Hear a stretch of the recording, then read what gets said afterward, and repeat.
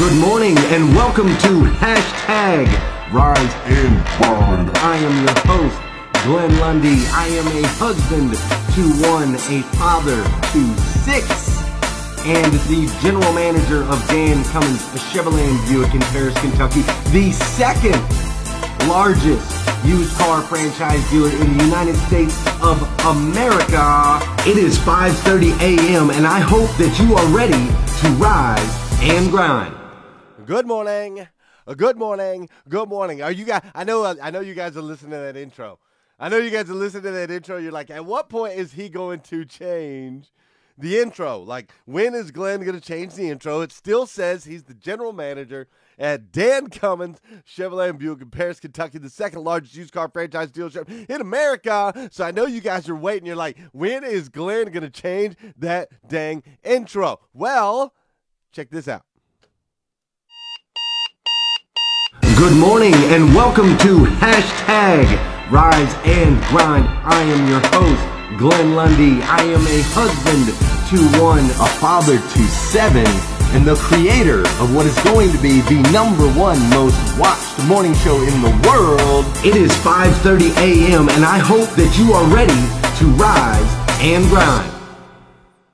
Not bad, right? Not bad, right? See, I'm just waiting. I'm just waiting for baby number seven to come popping into the world. That's all I'm waiting on. I'm waiting on baby number seven. And as soon as baby number seven gets out here, then we are going to rock and roll with the new intro. That's one of the things I've been working on. One of the changes that I've had to make. I've had to make quite a bit of changes over the last couple weeks, but it's been incredible. But one of the great things about all of the changes that I've had to make over the last couple uh, weeks, especially, is I've been surrounded by incredible people and I've had incredible conversations with just absolute, I mean, just absolutely amazing, amazing people. And so today, well, I'm going to dive into that here in just a second. I'm jumping ahead of myself. It is Halloween. Today is Wednesday. I had to double check, but today is Wednesday, October 31st. It is Halloween. And so if you are dressing up today, I do want you to post a picture in the group, in the Rise and Grind group today. I want you to post pictures of you in your costumes because I love that kind of stuff. I love getting to know you guys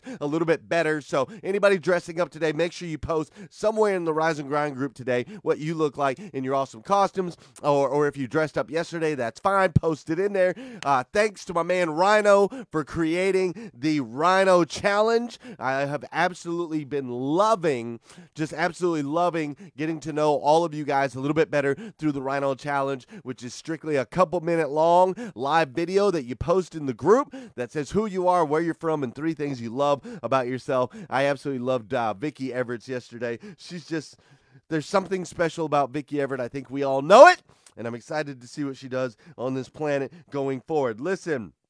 Uh, today's the last day for Feed a Family. So if you want to commit to feeding a family for the holidays, make sure you go to glennlundy.com, which the website's looking a little different now because Dave Benson's been working on it. But make sure you go to glennlundy.com, check that out. All right, yesterday I was on a call with this young lady right here. I was on a call with Kristen McCracken Kingsbury, and you're going to want to know that name because she's an incredible human being. You probably want to look her up on Facebook after we get off the show. Kristen with a C, McCracken Kingsbury is a friend of mine that I actually have gone to school with all the way back since middle school. I went to school with Kristen, and we were always uh, like minded. We were always united. We always were powerful, positive, forward thinking human beings. But what she's done is she's taking her, taking her uh, mindset and her attitude, and she's created a massive business for herself in real estate out there with Keller Williams, and she is out in uh, Arizona. And so she's grown her business big time. She's grown her team big time. And what she's done is she's learned everything that she can learn from this guy. Now, see, this guy's name is Ben Kinney. Ben Kinney. Now Ben Kinney is like a billionaire. Ben Kinney has he's he's blown up real estate wise. The guy does thousands, literally sells thousands upon thousands of homes every year. Uh, he also has training that he does. He has all kinds of other stuff that he does. All right. So you got Kristen, my friend, and then you got Ben Kinney, who is like the real estate mogul of the world, right? He was actually last year, he was the number one real estate agent in the world, sold more houses than anybody. So Kristen, my friend, Ben Kinney, her friend, Ben Kinney's the billionaire. Well, my, my friend Kristen, she went, she paid to go spend two days in a very small elite group, only 25 people. So there was 25 people got to spend two days with Ben Kinney, and they learned a bunch of stuff. And thankfully, because Kristen's my friend, and she loves me and she cares about me, and she's just part of this incredible network of people that I have. Thankfully for that, Kristen sat down with me yesterday. We jumped onto a Zoom, and she kind of covered, went over some of her notes and things that she learned from this very high level, incredibly, incredibly neat experience that she had. So she shared it with me, and I thought, hey, I should probably share it with my group on hashtag rise and grind because we all want to make each other bigger and we want all we all want to make each other better. So I'm going to share that with you today. But first, you know what we got to do. First, we got to get our dance on up in here. Let's go. That feels all right. What about this one? No, no, no. There we go. There we go. Yeah, see, gotta find the music that needs to move. Everything, everything's gotta line up. All right, check it out, man. For those of you that have never seen the show, and those of you that have, this is the part of the show where I need you to hit that share button. That's right, hit that share button because I believe if we can change the way people start their day, we can make a massive impact on this planet. And sometimes all it takes is you hitting that share button to change the way someone starts their day.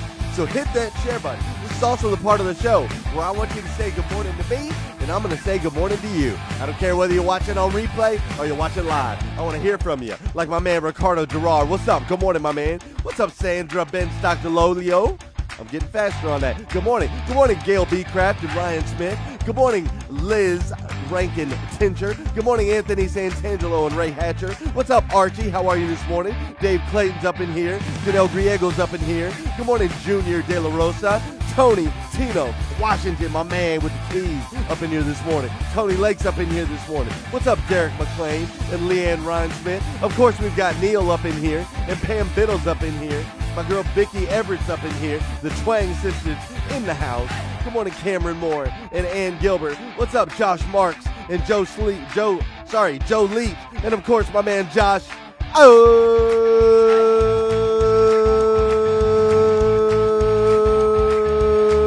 today is gonna be fire, boys. I got boys and girls, I can tell you. We got Frank Cronetti up in here. And Frank Cronetti's up in here this morning. It's got to be fire. Frank Cronetti only deserves the best. I got to deliver the best. What's up, Scott Holbert? Good morning. What's up, Princeton Sowett? Good morning. What's up, Tim Duff? Good morning. Trinity Trent is up in here. Good morning. There are 100 people up in here on hashtag Rise and Grind this morning. All right, we good?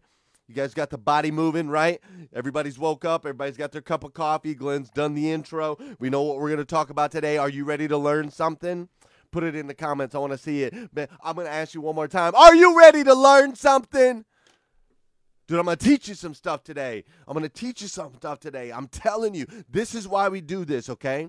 It's motivation, education, and inspiration. Okay, we can get motivated every day. And, and we have to. It's like bathing. We have to do it over and over and over again every day. And things can be inspiring for us all the time, right? But we got to get educated. We got to get smarter people. We have to learn. We have to learn to get to the next level. So I hope you're ready. I hope you're ready this morning to learn something because I'm going to teach something for you right here, right now that's going to apply in your life that you can use to change your life. So I'm on the phone with Kristen, who is friends with Ben Kinney.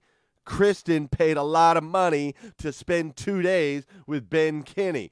Kristen has modeled her entire real estate business with Keller Williams after Ben Kinney. Ben Kinney, Kristen has seen Ben Kinney write million dollar checks to charities and organizations. One of the great things about this Ben Kinney guy is apparently every time he holds a conference, every time he holds um, any coaching sessions, every time he does anything like that, he donates 100% of the money to a local charity. 100%. He does it because he wants to help people, A, That's why he holds the conferences, why he holds, holds the coaching. But he has a philosophy. He has this philosophy called win, make, give. That's his philosophy. Win, make, give. He wants everyone to win. That way they can make enough money in order to be able to give. Win, make, give. I think that's an incredible philosophy that we all need to work on. We all need to, in our own personal lives and with the people that we employ, we have to make sure that they're in a situation where they are winning and they've got to be winning on the level where they are making enough money to be able to give. Okay? It's not it's not enough for them to be making enough money to pay their bills. I'm talking to all the leaders that are in this group right now. It is not enough for you to put your employees, your, your the people around you in a situation where they're just winning enough to make enough money to live. That's not enough. They got to be making enough money to give. Now, to all of you that are not in leadership positions, that you have leaders that work for you, I need you to understand something. It's not just the leader's job and responsibility to take care of you. You have to put yourself in a position. You got to get to the point where you are winning. You got to get to the point where you are winning at a point where you're making enough so that you can give, okay? So already right out the gate, boom, it's 542.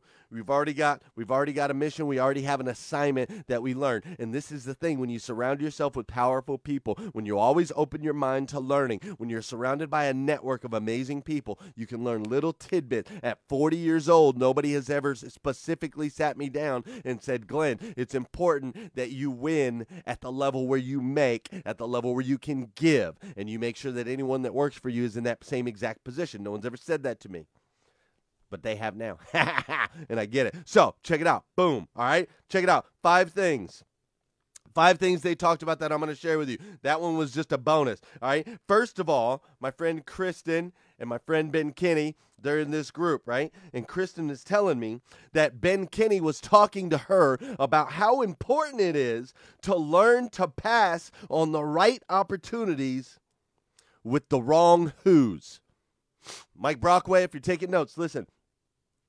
In life, we must learn to pass on the right opportunities with the wrong who's.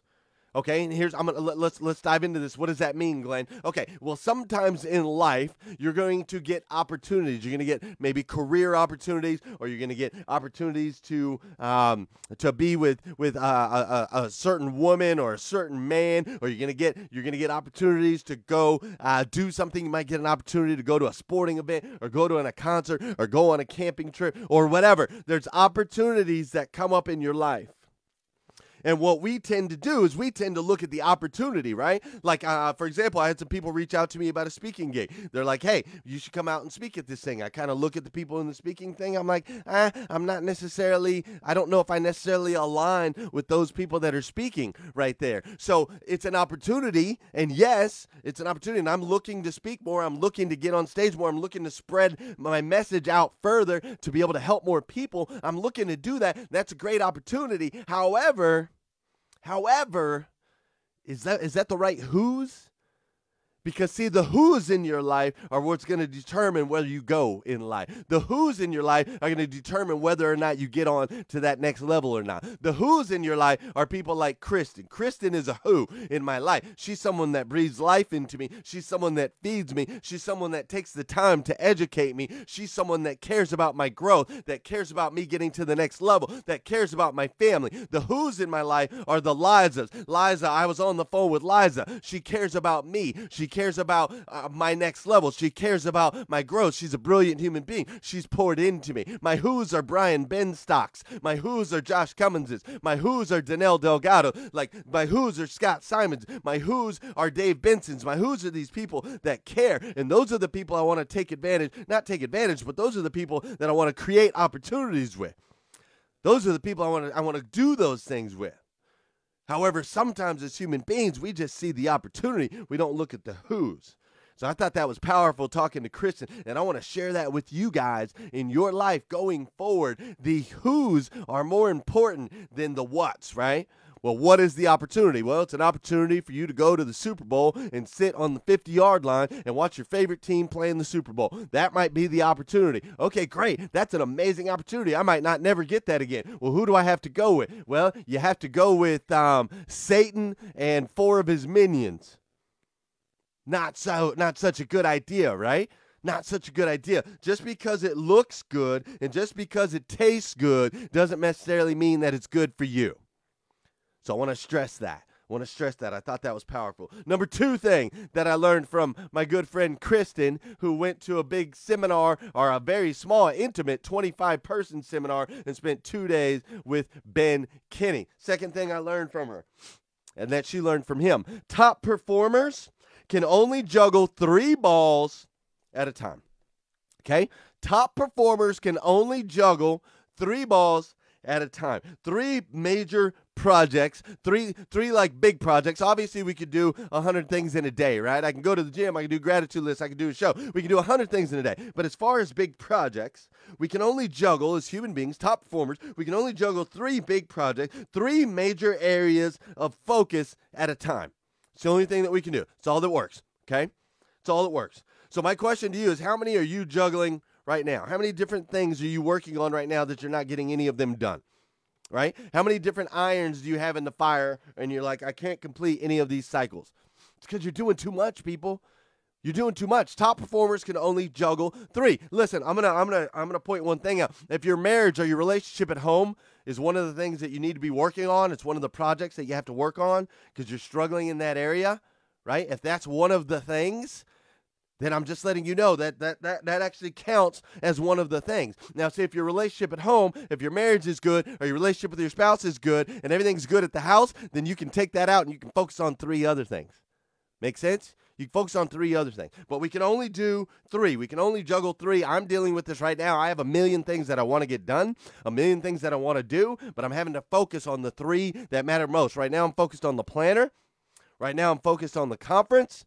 Right now, I'm focused on the group. Those are like the three main things. I'm making sure we build this group. I'm making sure the conference is solid, and I'm making sure that the planner gets done. Once the planner gets done, that's going to be coming out in time for Christmas. Once the planner gets done, then I'll shift over and focus on some areas. But that's one of the things. Top performers can only juggle three things at a time. What are you guys juggling? So, what else did I learn from my friend Kristen?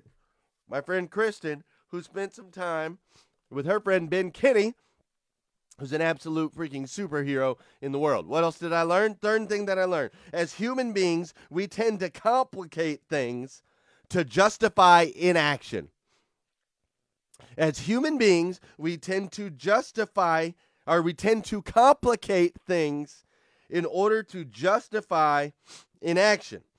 Right? You're like, well, I can't do this because well, I can't do this because then I got to take care of the kid. I can't I can't work out because I don't have enough time because I got to take the kids to school and I got to get them breakfast and I got to do this and well maybe I can't I can't really do that. I can't read that book because I don't have time because I got to work late and I got to stay after and and and you know I really want to um, write that book. I've been wanting to do it forever, but I can't because right we complicate. We tend to complicate things. That way we can justify inaction. We can say, well, because it's so complicated, I'm not doing it. And that's what we do. So the thing that my friend Kristen shared with me yesterday that she learned from her friend Ben Kinney, that's really, really neat, is she said we must simplify, we must simplify our actions to remove any chance of escape. You must simplify to remove any chance of escape. She gave me an example. She said she was making excuses of why she couldn't work out because she had to take the kids here. She had to do this, so on and so forth. So she was making excuses. So, in order to simplify, to basically remove any escape routes, what she did is she took a uh, bicycle, whatever that, whatever you want to call that thing, an exercise bicycle, and she put it plop right dead in the middle of her living room. It's right there in the middle of her living room. So there's no more excuses for her. She can't make an excuse for not working out. It's right there in the living room. She doesn't have to go to the gym. She always has time. It's right there in front of her. There's no way out. It's simple, it's easy. And because she did that, She now works out. She takes care of her body. She was able to create the habit and create the routine. How many escape routes do we have? Oh, well, I woke up a little bit late, so now I don't have time to get to the gym this morning. Whereas if we would have planned the night before, set out our clothes, set out our bag, made sure everything that was ready, not hit the snooze button, we can like we can eliminate this stuff. We must simplify because as human beings, what we tend to do is complicate things. We purposely complicate things in order to justify inaction.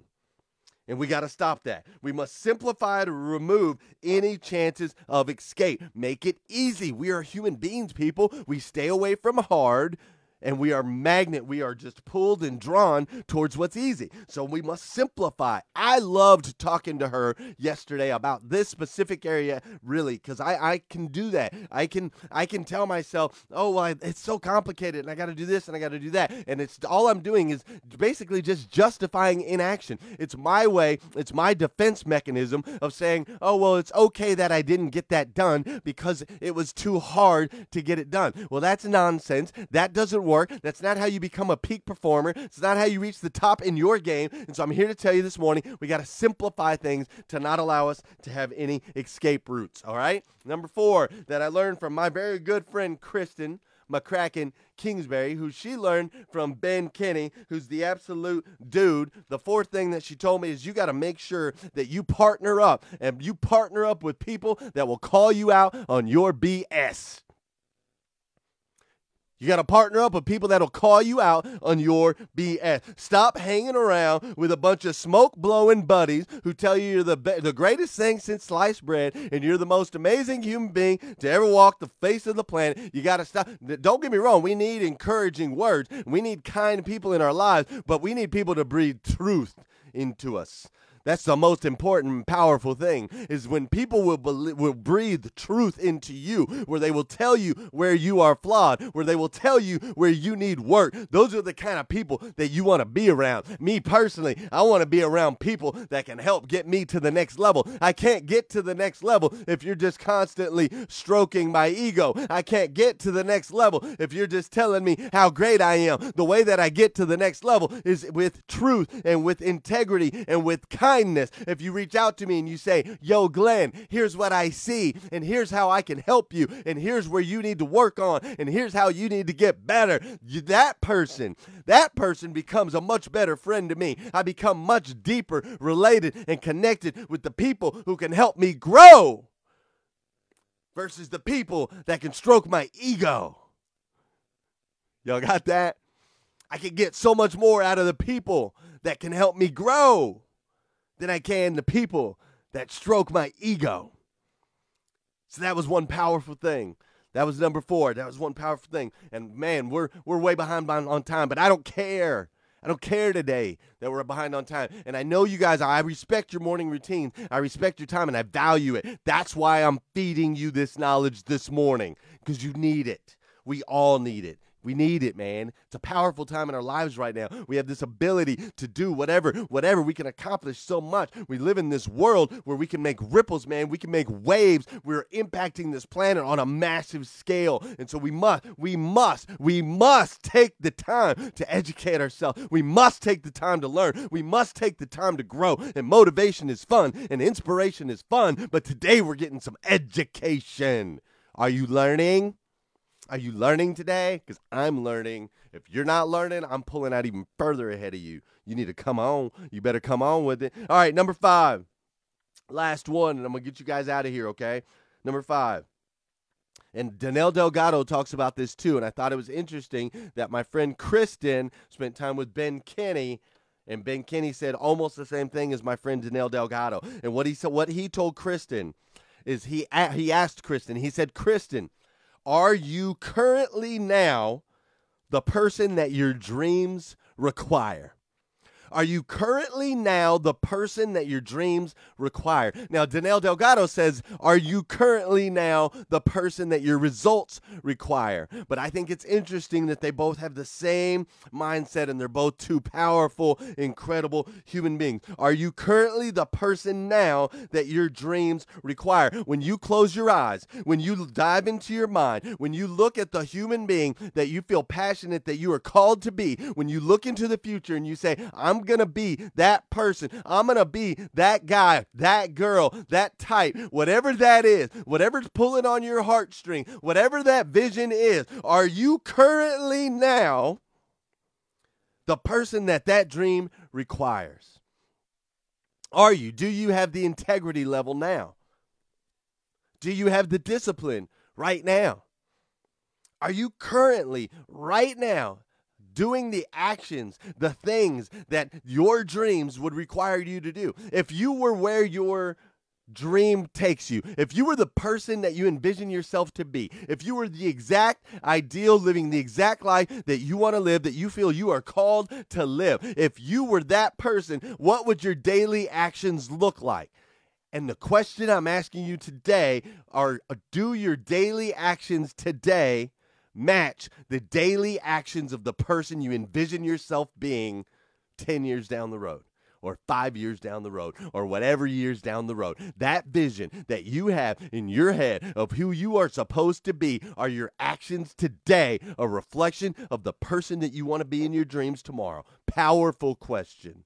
You powerful question. I'm answering that question right now. I'm thinking about the person that I want to be in the future, the person that I want to be five years from now. What's that guy look like? What's he doing? What actions is he taking? How? What do his What do his moral standards look like? What's his integrity look like? What's his work ethic look like? What's his relationship with his wife look like? What's his relationship with his kids look like? What's his relationship with his followers look like? What's he doing in the group? What's he doing with his books? What's he doing on the stage? I'm asking myself all of those questions. Exactly what does he look like? That amazing human being that God created me to be. What does he look like? What is he doing on the daily? And then now I'm going to go back into time and I'm going to go to present day and I'm going to open my eyes and I'm going to take a look around and I'm going to say, is the Glenn Lundy of today doing the exact things that the Glenn Lundy of my dreams five years from now is doing?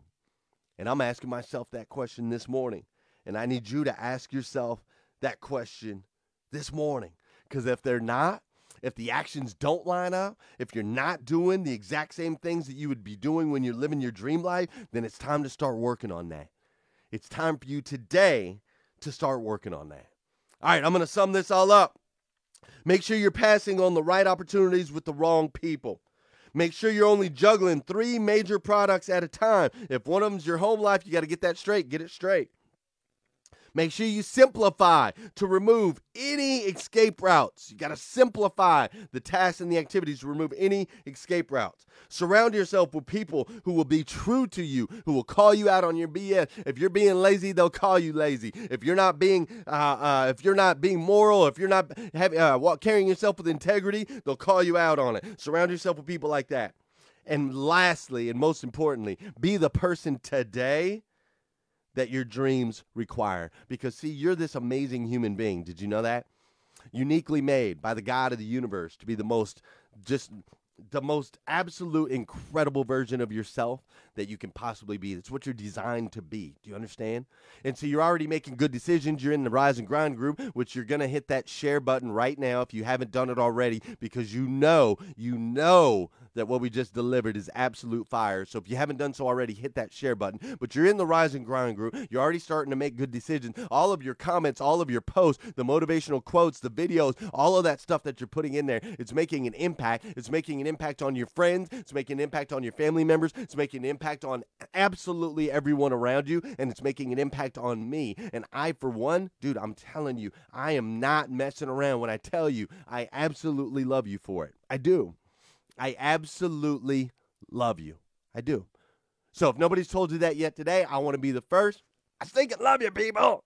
Now, if you need more videos, you need some motivation, some inspiration, any of that good stuff, go to glennlundy.com. You can check that stuff out there. I got videos. If you need some rise and grind gear, you need some shirts, some hoodies, or any of that stuff for the fall, go to glennlundy.com. If you want to sign up to feed a family, go to glennlundy.com. All that stuff's right up there. Dave's been messing around with it, so some of it's in Spanish and whatnot. So if you can't figure out your way around, just message Dave Benson. He's currently still working on that. But most importantly, will you guys do me a favor, please? will you please come back here again tomorrow morning at 5:30 a.m. because we're gonna do all this all over again. We're gonna do it all over again. So come back again tomorrow morning, 5:30 a.m. on hashtag Rise and Grind.